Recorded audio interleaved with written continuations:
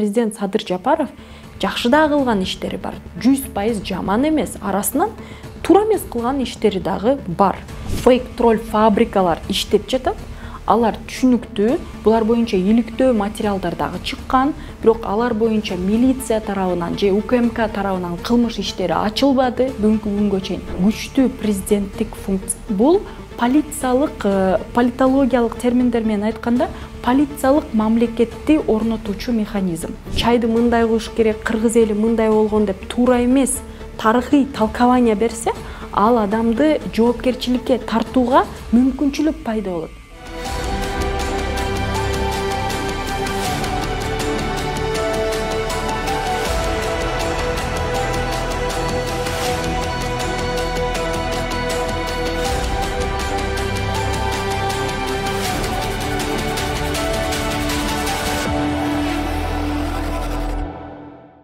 кутмандуу күнүңүздөр менен урматтуу политклиника медиасынын көрөрмандары кыргыз өкмөтү медиа каражаттарында интернетте жалган маалыматтарды тараткандарды жазалоо боюнча кезектеги мыйзам долбоорун сунуштады. Биз бүгүн ушул мыйзам долбоор тууралуу сүйлөшөлү деп турабыз биздин студиябызда конокто юрист таттыбүбү эргишбаева болмокчу. Саламатсызбы саламатсызбы кош келдиңиз биздин студиябызга. Рахмат. Таттыбүбү учурда ушул мыйзам долбоору талкууда турат. Негизи эле мыйзам долбоору боюнча токтолуп кетсеңиз. Саламатсызбы негизи айта кетиш керек. Бул ар намыс кадыр баркка шек келтирүүчү нормаларды контролдоо боюнча укук бузуулар кодексине өзгөртүү сунушталып жатат да бирок э, бул мыйзам долбоорунун алгачкы э, өзгөчөлүгү аткаруу бийлигинин мүчөсү бул маданият министрлиги тарабынан көзөмөл э, интернетте массалык маалымат каражаттарынын ишмердүүлүгүндө өз каалоосу менен адистери мониторинг контроль жүргүзүп ошонун негизинде алар аныктайт кимге ошо ар намысына шек келтирилип жатат деп. Анан ошонун негизинде маданият министрлиги адамдарды жоопкерчиликке тартуу боюнча айып пул салуу боюнча мисалы жөнөкөй жарандарга жүз миң сом анан кийин организацияларга тиешелүү эки жүз миң сом айып пул салууга өзүнчө мыйзамдык механизм түзүлүп жатат.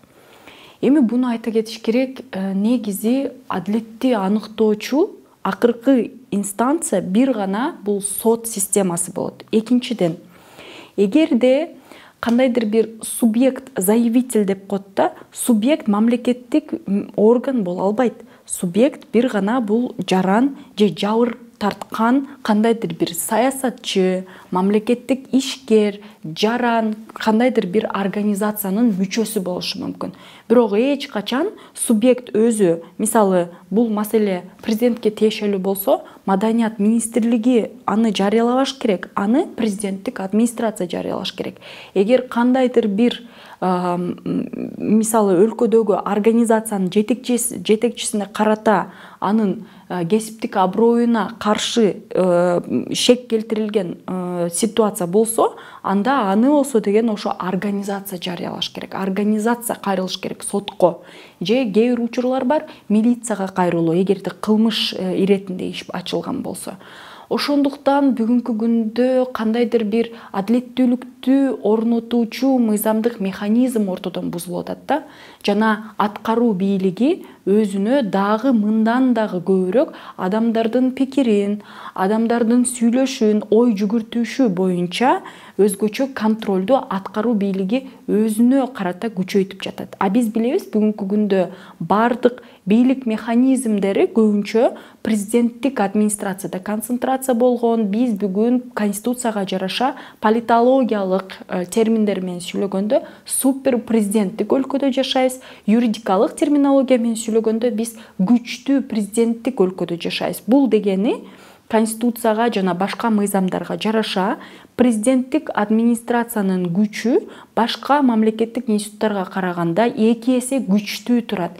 Парламент жана сот системасы башкы прокуратуранын ыйгарым укуктары анчалык мааниге же болбосо күчкө ээ эмес. Ошондуктан дагы аны күчөйтүп дагы супер президенттик концепцияга кошумчалап бул ойго дал келбеген нерсеге алып келүүсү бул мен үчүн түшүнүксүз бүгүнкү күндө кошумчалар деп мыйзамдык демилге деп санайм а негизи учурда ушул мыйзам долбооруна муктаждык бар беле? Муктаждык менин оюмча жок болчу. Мына караңыздар өкмөт э, справка обоснование деп коет ошол документте мыйзам долбооруна тиркелген документте эмне деп айтып атат. Биз деген массалык маалымат каражаттарын интернет платформаларын бүгүнкү күндө ошондой жол менен контролдоого муктаждыгыбыз бар депчи.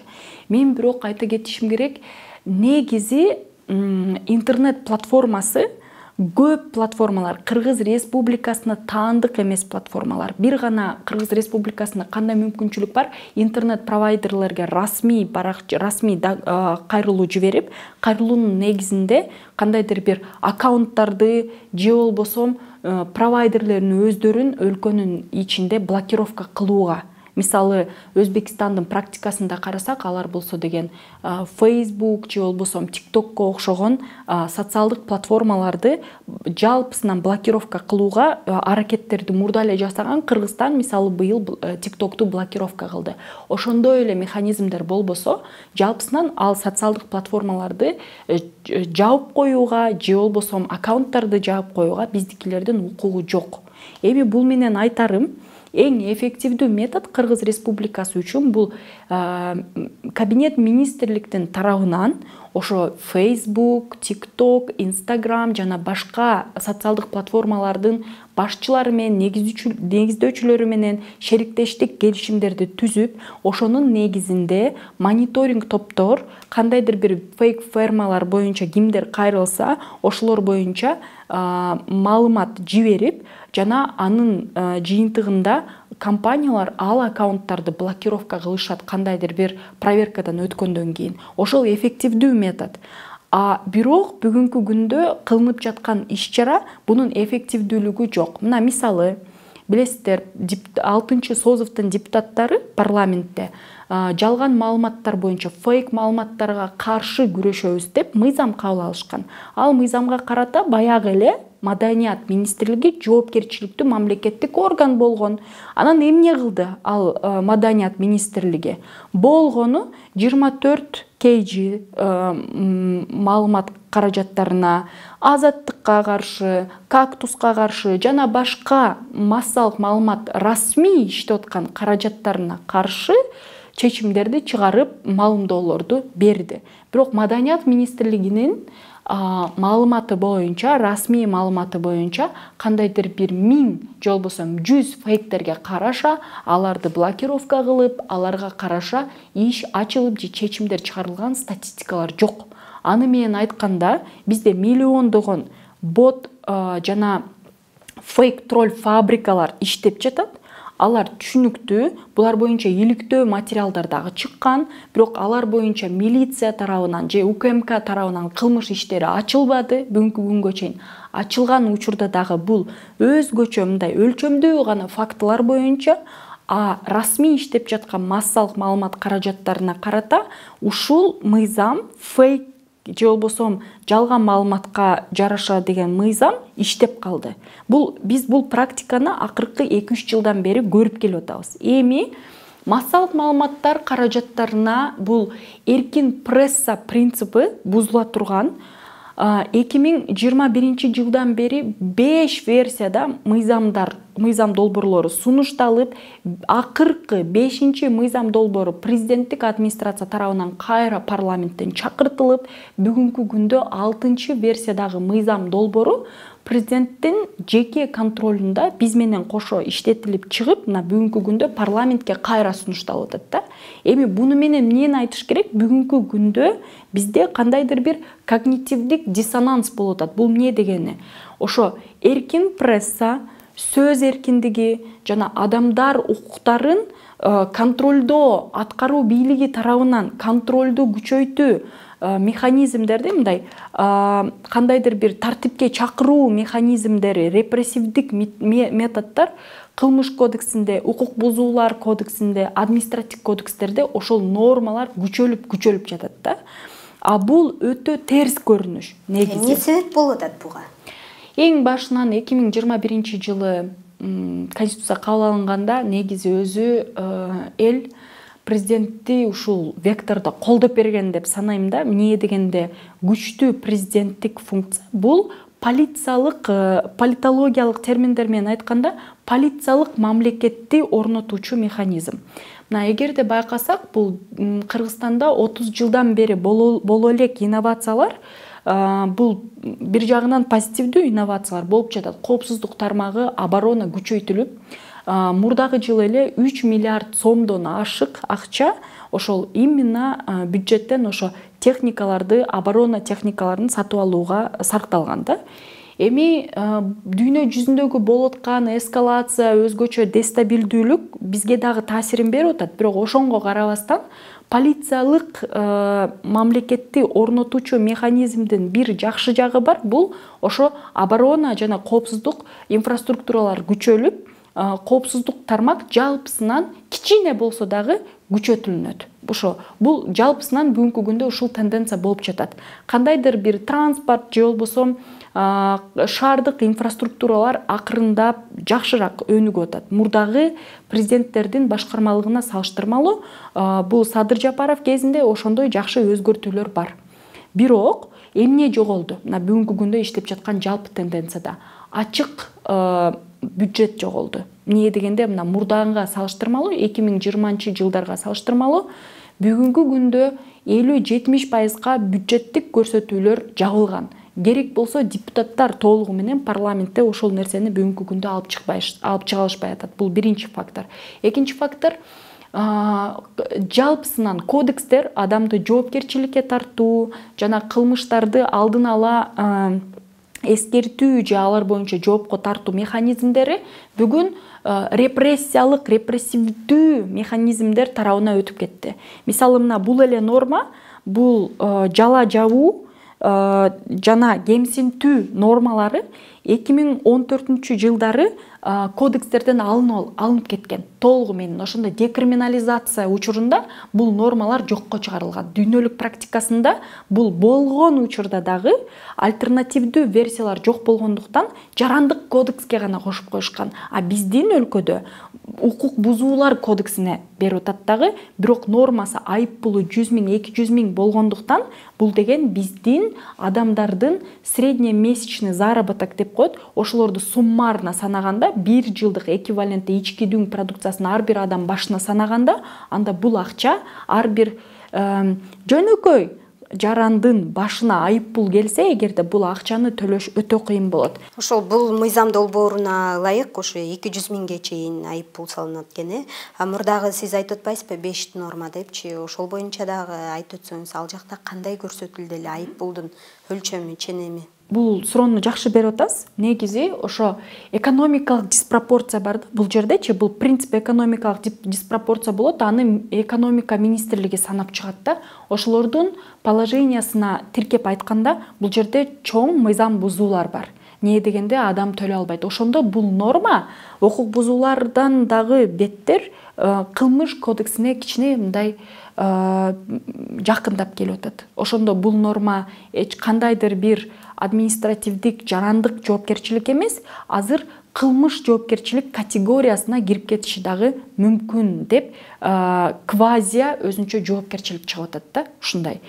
Анан экинчиси туура айтасыз бүгүнкү күндө мына жала жабуу жана кемсинтүү учурлары эгерде аныкталган болсо субъект жөнөкөй адам мамлекеттик ишкер саясий ишкер же болбосо кандайдыр бир организация өзүнүн укугун коргогонго толугу менен укуктуу болгон бүгүнкү күндө иштеп аткан беш чактуу норма бар.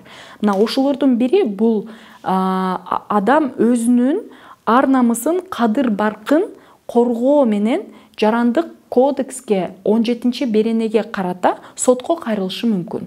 Анга моралдык компенсация жана акчалай компенсация суроого толугу менен укуктуу мындай практикалар көп бизде. Президент дагы өз учурунда кайрылган э, кандайдыр бир массалык каражаттарына башка активисттерге сүйлөп чыккандаргачы. Экинчи механизм бул э, ушул эле кодекс о правонарушениях укук бузуулар кодексинин алтымыш жетинчи беренесинде оскорбление же башкача кемсинтүү деген норма бар. Ал жерде адам же организация өзү кайрылса болот жана айып пулу мына көңүл буруңуздар айып пулунун өлчөмү он жети миң беш жүз сом. жүз жетимиш беш расчеттук показатель. Эми бул менен айтарыбыз бул норма бар. Эмнеге дубликат менен дагы бир норма сунушталып атат? Мына бул жерде бирок кандай өзгөчөлүк? Мына бүгүнкү күндө сунушталып аткан кемсинтүү жана жала жабуу нормасы ушул эле укук бузуулар кодексинде. Бул жерде биринчиден расчеттук показательдер жүз миң сом эки жүз миң сом. Бул биринчиси анан экинчи айырмачылыгы мамлекет өз каалоосу менен субъекти жок эле жоопкерчиликке тартууга укуктуу мына көрдүңүздөрбү то есть бул менен айтарыбыз ошо адилеттүүлүк орнотуучу принцип диспропорцияга кирип кандайдыр бир фундаменталдуу негиздемелер бузулуп жатат да. Анан үчүнчүсү бул жүз отуз сегизинчи беренесинде статья клевета в отношении умершего өтүп кеткен адамга карата жала жабуу нормасы сакталып калган ошо эки миң он төртүнчү жылдардан бери ушул норма э, ликвидация болбогон. Ошондон өтүп кеткен адамдын артынан сүйлөгөндө э, эгерде ал жерде жала жабуу нормалары болсо анда ушул кылмыш кодексинин жүз отуз сегизинчи беренесине карата жоопкерчиликке тартылышы мүмкүн. Жана төртүнчү норма бул кылмыш кодексинин мына угроза убийством дейт. Бул алдын ала коркутуучу угрозалар болсо эгерде массалык маалымат каражаттары смс аркылуу дагы ошол нерсени адамдын жашоосуна каршы кылмыш иш чаралары айтылып айтылып жатса анда жоопкерчиликке тартууга укуктуу жана үч жүз жыйырма тогузунчу үч жүз кырк төртүнчү беренелер кылмыш кодексинин беренелери боюнча атайын жалган мына террористтик акт боюнча же кандайдыр бир адамдын кылмыш э, кылды деп жалган маалыматтарды таратып жала жабуу болсо анда кылмыш кодексине карата өтө күчтүү жоопкерчиликтер каралган. Ошондуктан кылмыш кодексинде мына ушул жалган маалымат таратуу жана адамдардын кылмыш кылды деп алдын ала принцип презумпция невиновности болот го. Ошону мисалы алдын ала бул адам кылмышкер деп атаса анда аларга карата көптөгөн кылмыш кодексинде нормалар каралган.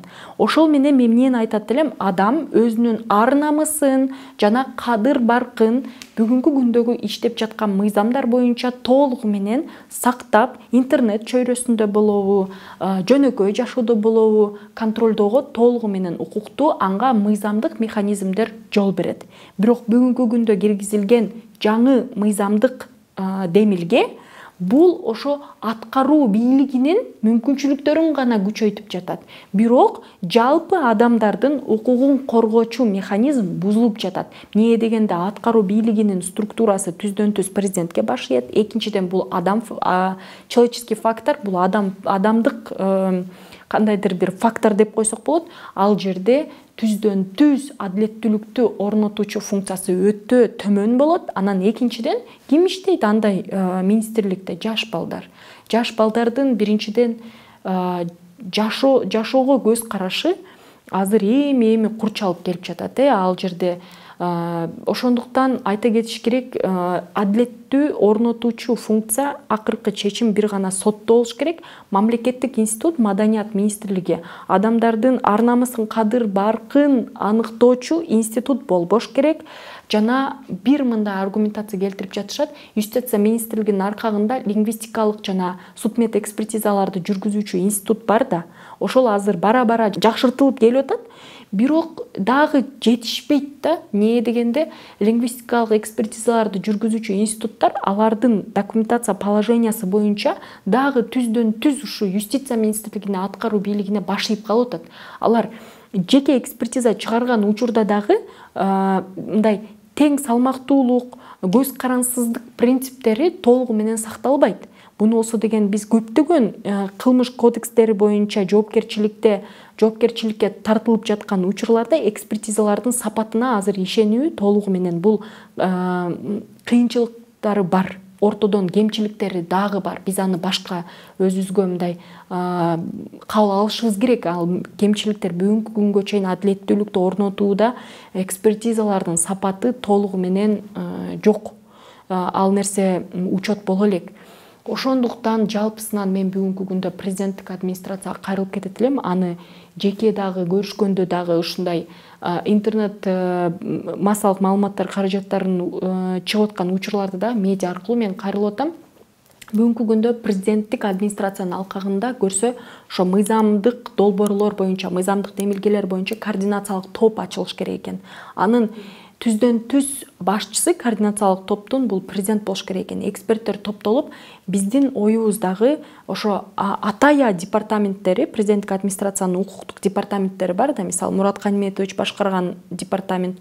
Ошол жерлерде биздин ойлорубуз дагы биздин экспертизаларыбыздын дагы жаны башкача айтканда мындай жыйынтыгы учет болуш керек экен а башкача учурда көптөгөн мына азыркы учурда он эки чактуу мыйзам долбоору бар сапатсыз демилгеленген да. Ошолордун баардыгы бизге чоң өзүнүн таасирин берет. Бул мыйзам долбоорунда мисалы айтып атпайбызбы жалган маалымат менен күрөшүү депчи. Жалган маалыматты фейк маалыматты мисалы ким аныктайт себеби бул мыйзам долбоорун карап чыксак жазылбаптыр да ким аныктай тургандыгычы вот мен дагы ушул суроону мыйзам долбоорунда так аныкталбагандыктан биз мурдагы жума азаттыкта эфирде болдук. Анда ошо маданият министрлигинин министринин э, орун басары марат тагаев менен бирге чыктык. Ошондо э, марат тагаев анык айтып кетти. Бул системада жоопкерчиликтүү мамлекеттик институт бул маданият министрлиги болот экинчи иретте жоопкерчиликтүү институт бул юстиция министрлиги болот. Эмнеге дегенде юстиция министрлигинин департаменти лингвистикалык жана башка түрдүү экспертизаларды жүргүзүүгө мүмкүнчүлүгү болот деп. Жана мындай норма бар да кыргыз республикасында концепт кабыл алынган. Кыргыздардын каада салттын наркын ошо биздин улуттук аспектибизди концептибизди сактоочу концепция кабыл алынган. Эми ошолорго карата дагы эгерде бирөөдүр бирөө кыргыз элинин традициясына шек келтирсе анда дагы бул норма боюнча жоопкерчиликке тартууга мүмкүнчүлүк бар дейт. Бирок мыйзам бул өлчөмдүү механизм а традиция бул оозмо ооз берилген фольклор.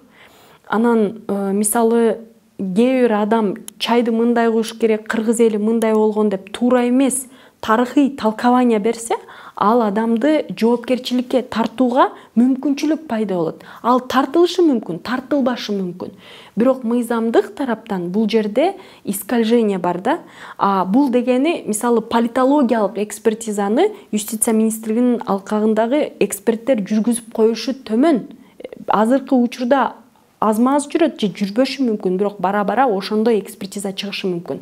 А политология бул неточная наука бул гуманитарный наука. Ал дегени жүз политологдун миң ою болушу мүмкүн. Ошондуктан бүгүнкү күндө адилеттүү орнотуучу механизмдер алдын ала кандайдыр бир коркунучтарга тобокелчиликтерге э, жаңы жагдайлар ачылып атат да ошондуктан маданият министрлиги аткаруу бийлигинин мүчөсү болгондуктан мындай жаңы механизмдерди киргизүүнүн алдында э, катуу ойлонуш керек. Менин оюмча чоң тобокелчиликтер бар. Биз анга чоң көңүл менен э, карашыбыз керек да.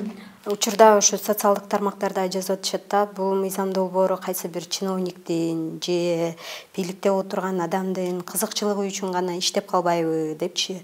Анан бул бара бара цензурага алып келбейби деген да маселе жаралып атат да. Мисалы ушул ошол эле чиновникке ошол эле бийликте отурган адамдын кызыкчылыгы үчүн иштеп калбайт дегенге кепилдик барбы? Мына ушуну айта кетиш керек. Өз учурунда парламентте өтө көп таасирдүү саясатчылар бар болчу. Ошолордун бири мына матраимовдор тобу болчу. Булар көп жактуу мисалы парламенттин төрттөн бир бөлүгү ошолор тарапташ болгон өтө таасирдүү парламентарийлер отурган. Ошолор кезинде фейктерге каршы маалымат деп кабыл алынган негизи мыйзам болчу алгачкы лоббисттердин бири ошол э, парламенттеги саясий топ болгон.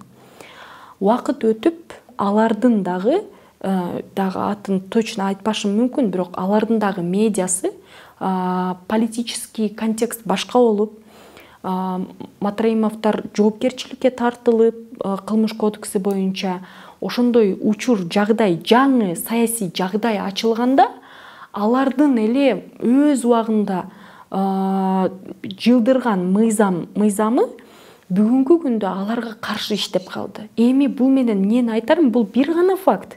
Өз учурунда кандайдыр бир мыйзам долбоорлорун өз учурунда бакиев учурунда алар дагы көптөгөн криминализация кылып кылмыш кодекстерин күчөйтүп прокуратуранын күчүн күчөйтүп жана көптөгөн мыйзамсыз иш чаралар өткөрүлгөн ошол учурда. Кийин жаңы президент атамбаев ошол учурда шайланганда мыйзам долбоорлор декриминализация болуп кайра эле президентке каршы анын чөйрөсүнө каршы көптөгөн криминалдаштырылган нормалар өздөрүнө каршы иштеди. Эми бул менен айтарым бүгүнкү күндө эч ким айта албайт мына келе жаткан беш жылда кандай учур болуп кетиши мүмкүн бүгүнкү күндө ооба чиновниктер жыргап атышат ушундай мыйзамдарды күчөйтүп күчөйтүп негизи өзү бүгүнкү күндө мына президент садыр жапаров жакшы да кылган иштери бар. Жүз пайыз жаман эмес арасынан туура эмес кылган иштери дагы бар. Бирок конструктивдүү критикага президенттин ишмердүүлүгүн жакшылантыш үчүн конструктивдик критика дайыма болуш керек. Бүгүнкү күндө конструктивдик критика жүргүзүү аянтчасы майданчасы дагы кыскартылып баратат да башкача айтканда. Фейктер троллдор дагы эле бар алар жашап атышат. Эмнеге дегенде кыргыз республикасынын күчү бир гана ошо кабинет министрлиги тарабынан социалдык платформалардын негиздөөчүлөрүнө алардын администрациясы менен жакшы тыгыз байланышта болуп алар менен жазышып мониторингди жакшы жүргүзүп ошондой гана жолдор менен фейк троллдор менен э, күрөшсө болот. Бул эффективдүү механизм бир гана ошол а башка механизмдери мына мисалы мыйзам кабыл ала коюп маданият министрлигин кошо коюп ал жол менен чечилбейт бул суроолорчу. А бирок мисалы э, сунушталган мыйзам долбоорлору мисалы бүгүнкү күндө бул ошо жала жабуу кемсинтүүгө э, э, каршы анда бул мыйзам долбоорлору бүгүнкү күндө бир гана атка минерлердин кызыкчылыгын коргоп турат аткаруу бийлигинин көбүнчө мүчөлөрүн кабинет министрлеринин мүчөлөрүн коргоп турат. Бирок убакыт өткөндөн кийин өздөрүнө эле каршы бул норма иштеп калышы мүмкүн. А мыйзамдар кантип кабыл алыныш керек? Бул бүгүнкү күндө кызматтасыңбы эртең кеттиңби? Мыйзам сага бирдей караш керек политикалык конъюнктура саясий конъюнктура сага каршы иштебеш керек. Мына ошондо мыйзамдар эффективдүү адамдын укугун толугу менен сактаган болуш керек. Ошондуктан мен бүгүнкү күндө мына айта кетишим керек. Көптөгөн президентти садыр жапаровду курчаган кээ бир юристтер президенттин ишмердүүлүгүн президенттин саясатын туура эмес багытта алып кетип аткан учурлар дагы каралып атат а биз буну мисалы көз карандысыз эксперттик топтор айтып турушубуз керек. Эгерде президент ушундай чечим чыгарып биз менен кошо координациялык топ чыгарса анда биз барып иштеп берүүгө дагы даярбыз. Бирок бул бүгүнкү күндө президенттик администрациянын жеке президенттин эрки болуш керек да. Биз ошондо мына э, шериктеште болуп иштеп берүүгө даяр болобуз. Жакшы ушул мына ушул сыяктуу мыйзам долбоорлору акыркы үч төрт жылда көп кабыл алынып атат айрымдары негизи эле кыргызстанда сөз эркиндигинин абалы кандай? Кандай баа бересиз сиз учурда? Эми негизи эң башында айта кеттик биз сиз менен бул маселени төрт жылдан бери айтып жатабыз кымбат. Мен юрист иретинде сиз журналист иретинде кайсыдыр бир учурда мамлекетте мисалы конституциялык түзүлүш көбүнчө күчтүү президенттик тарапка кетип сот институту тең салмактуулугу жок болуп саясий таасирдиги президенттик администрацияда көп болсо мисалы бүгүнкү күндө президенттик администрациянын күчү парламенттен дагы соттон дагы өйдөрөөк турат да. Анда сөз эркиндиги мисалы эркин пресса адам укугу сакталуучу механизмдери дүйнө жүзүндөгү практикалар бар. Ал боюнча аналитикалар дагы экспертизалар да көп жүргүзүлүп чыныгы мындай ачык эле статистикалар бар. Бул бир гана кыргызстанга таандык эмес. Көптөгөн ошо президенти күчтөлүп бирок сот институтунун толугу менен көз карандыгы жок өлкөлөрдө ушундай тенденция бар. Полициялык режим күчөйөт. Бул прокуратура милиция жана башка укук коргоочу институттардын ыйгырым укуктары күчөлөт тергөө институту күчөлөт надзор институту контролдоо институттары күчөлөт а сот ошол көбүнчө тергөөнүн чечиминин концептине баш ийип көп учурларда ошондой эле чечимдерди кабыл алып коюучу механизм болуп калат ошондуктан бүгүнкү күндө сотторду айыптаган дагы толугу менен туура эмес эмне дегенде кандай саясий режим аныкталса ошондой эле адилеттүүлүк институту аткарыла берет. Анан э, эл өзү добуш берди бир жагынан ушундай э, супер президенттик өлкөдө жашап көрөлү деди. Мына жашап атабыз биз колдон келишинче ошо конституцияда каралган нормалар боюнча мисалы конституциянын экинчи бөлүгү адам укуктарына жана адам эркиндигине арналган норма. Ошонго карата эле биз өзүбүздүн аналитикаларыбызда ошо адамдардын укугун сактоочу механизмдерди кармап калууга аракет болуп атат. Бирок калганы ошол кантип конституциялык түзүлүш аныкталса ошол боюнча кетип бара жатат. Эми акыркы төрт жыл боюнча төрт жыл боюнча тенденция ушундай. Өлкөдө көптөгөн ошо укук коргоочу институттардын күчүн таасирин күчөйтүп жөнөкөй жарандардын кандайдыр бир жашоосуна чектөөлөр киргизилген экономикалык жактан кээ бир кээ бир тармактарда өзгөрүүлөр болуп атат кички дүң продукциясы жалпысынан күчөйүп атат. Э, эми анга өзгөчө тышкы факторлор дагы бар. Тышкы геосаясатта жүрүп аткан факторлор кыргызстанга өзүнүн таасирин берип атат ошонун жыйынтыгында. Бирок жалпысынан экономикалык мүмкүнчүлүктөр баардык элге жалпы элге тиешеси барбы же өзүнчө топко тиешеси барбы буну макро микро анализдин негизинде жыйынтыгында экономисттер берсе болот кандай эффективдүүлүгү бар.